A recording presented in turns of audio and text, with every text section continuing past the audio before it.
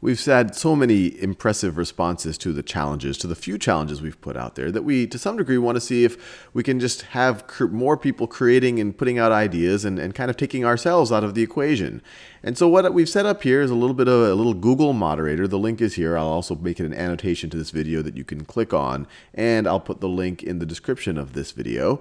And the, the general idea here is for anyone to go to this, this, this Google moderator thing, uh, put ideas up for for computer science projects or for programming projects, and other people can vote them up or down based on how badly they want someone to work on this. And then if you are able to build one of these things, uh, you can post a response and put your link to the thing that you actually created. And so I'm really, I've already populated with a few things that I would like to see, uh, but you know, we should just all vote for whatever we all want to see the most and uh, see what people create. And I'm really excited to see what might happen here.